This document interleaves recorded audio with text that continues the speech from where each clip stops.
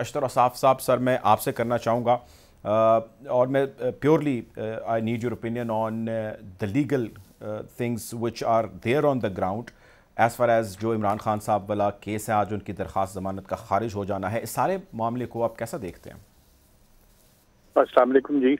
Thank you बात ये है कि जमानत का जो असूल है वो दो तरीके का है। एक जब आप गिरफ्तारी से पहले की जमानत की बात करते हैं हम्म। और दूसरा गिरफ्तारी के बाद की तो हम जो सब चीज़ देख रहे हैं वो इस तनाजर में है कि इमरान खान साहब को खौफ था कि उनको गिरफ़्तार कर लिया जाएगा हम्म। उस खौफ के तदारक के लिए उसको देखते हुए उन्होंने जमानत की दरखास्त दी ट्रायल कोर्ट को। जो ट्रायल कोर्ट ने कहा कि ज़रूर बिल्कुल आइए ज्वाइन करें तफ्तीश में ज्वाइन करें सारे मामलात को और हम आपको उस वक्त तक जमानत दे देते हैं जब तक कि अगली तारीख पे आप पेश नहीं होते हम्म।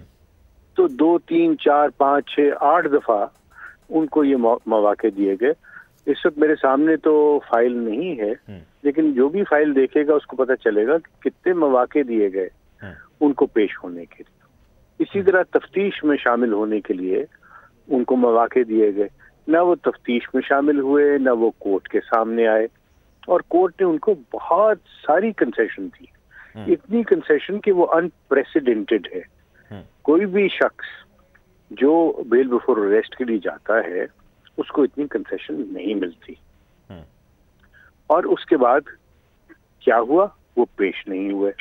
एक उजर दूसरा उजर और तीसरा उजर और जो इंटरेस्टिंग बात है कि उसमें उजर जो पेश किया गया वो ये किया गया कि पीराना साली यानी वो एक बुज़ुर्ग आदमी है बहुत उम्र है उनकी हाँ। और वो ट्रेवल नहीं कर सकते और वो उनको इंजरीज हैं हाँ। जिससे वो हील नहीं हुए हाँ।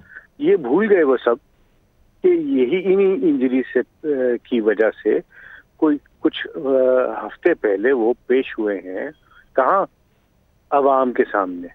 किधर? रावलपिंडी में। और उन्होंने पूरा वहाँ पे जलसा भी किया। और उसके बाद इंजरीज जो है वो तो हील होती है ना। हम्म।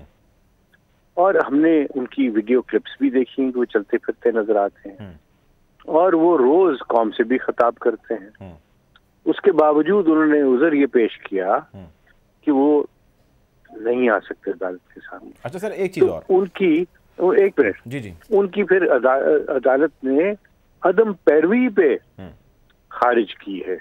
अगर वो पेश हो जाते तो बात के ऊपर उन्होंने खारिज कर दी करेक्ट अब बहुत सारे लोग उनके वकला रेफरेंस ही देते हैं कोट करते हैं कि जी मुशरफ मुशरफ के, के आ, केस का रेफरेंस देते हैं सलमान शहबाज का देते हैं साग डार साहब का देते हैं। How that is different from this one देखिए एवरीबडी अपीयर्ड क्या परवेज मुशरफ अपेयर नहीं हुए थे कोर्ट में हम्म। मैं इनफैक्ट उस दिन कोर्ट में था जब वो अपेयर हुए थे और उसके बाद जो सारा सिलसिला हुआ वो हुआ वो बाद में है but he appeared in court जब उनकी जमानत मनसूख की गई थी हम्म।